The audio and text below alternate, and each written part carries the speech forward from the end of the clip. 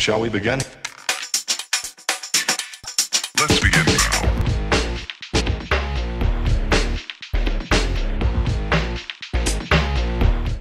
Okay, everybody, so now that we've gone ahead and cut out our card using our silhouette, we can now start putting our pieces together.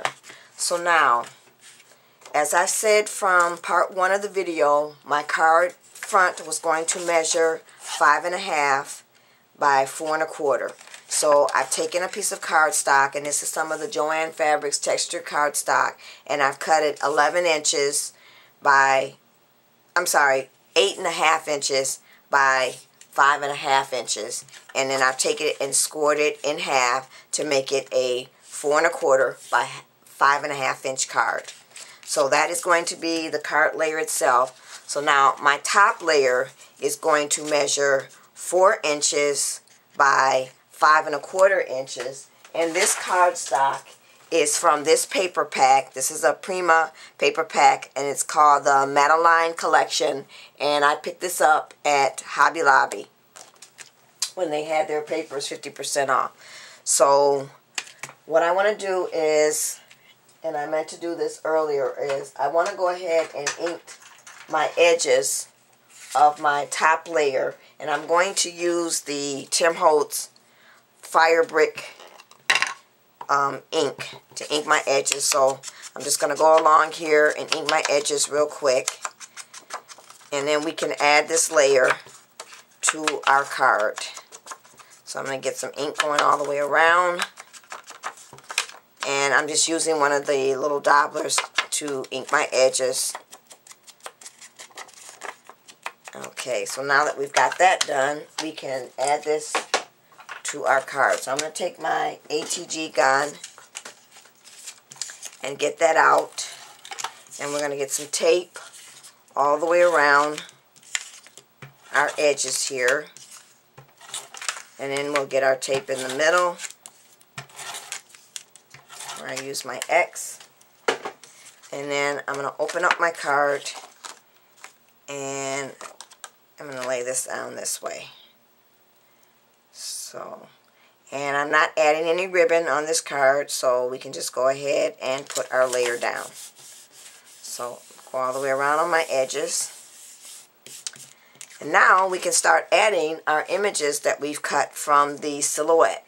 So, I have my little lamppost here, which looks like this. And what I did was I took a piece of just clear plastic and this was actually just some packaging from off of something that I opened. And I put that behind here. Now you might not be able to see that. There it is. You know there's a little glare. So I just kind of wanted that to make look look like glass back behind there. So I'm just gonna lay it down for right now. I'm not gonna tape anything down because I want to get all of my images on my card. So now we're going to add our couple. And as you remember we cut our couple using the silhouette and I cut this out at three inches. So we're gonna have that and put that right there. And then for my bench I did cut my bench out in the black cardstock and this cardstock is just some recollection cardstock. And then I decided that I wanted the heart to pop up.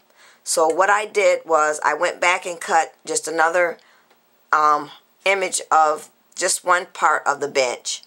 And I cut that using some cream color cardstock. And then I inked the edges of the heart using the Distress ink by Tim Holtz, the Fire Brick. So I have this where I want this to pop up. So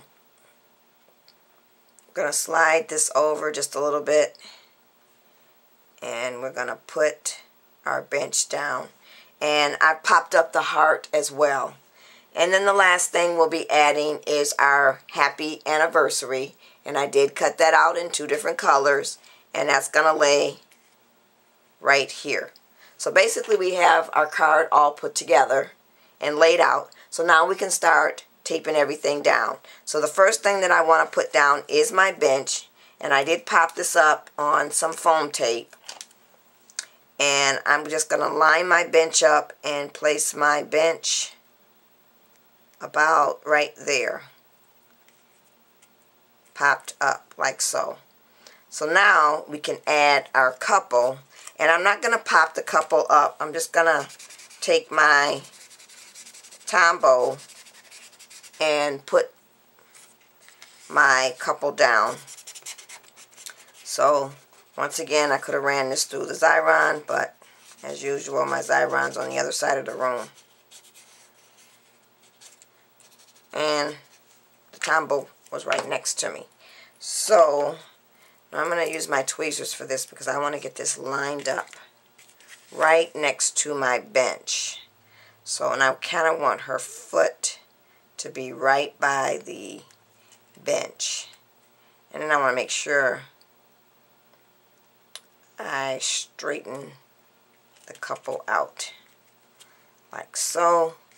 And then we'll go ahead and once again we'll use the Tombow to add our lamp post.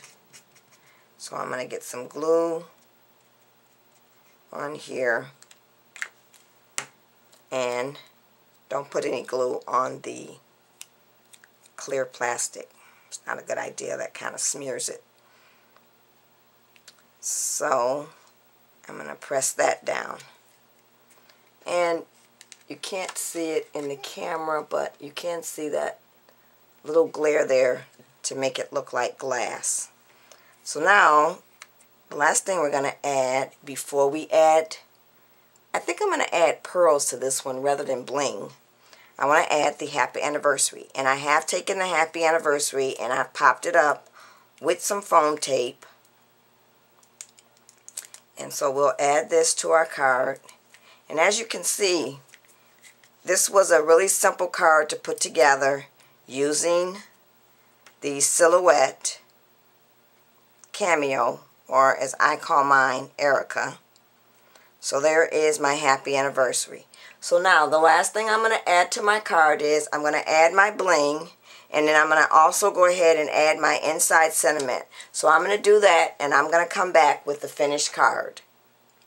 Okay everybody, so I'm back with the finished card. So what I've done is I've gone ahead and added three pearls right below the happy anniversary and then I've made one of the rolled flowers and this is the medium size of the My Favorite Things rolled flower die. And then for my inside sentiment, I've taken a piece of cardstock, and this is just uh, some cream color cardstock. And actually, I think this is from a manila file folder. And I've cut it at 4 inches by 5 and a quarter inches. And I've taken one of my dollar stamps and stamped out Life is Better When It's Shared and I stamped this out using the aged mahogany Tim Holtz ink and then I've colored in the flower using my Yasutomo watercolor paints and then I've taken and stamped out anniversary wishes and this is from the My Creative Time teeny tiny teeny tiny tags stamps and dies and then on for the outside I've gone ahead and inked my edges and this time I've inked it with the fire brick uh, Tim Holtz ink. So that's it, everybody. This is our completed card using Erica. Thanks for watching, everybody. Bye.